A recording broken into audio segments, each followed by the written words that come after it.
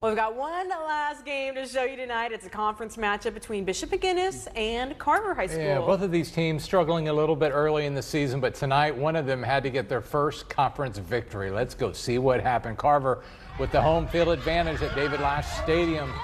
Bishop with the ball here, and they're going to be looking to score. Quarterback Alex Waterfield. Oh, but it's picked off right at the end zone by Marquise Parent. And the Villains get the ball back.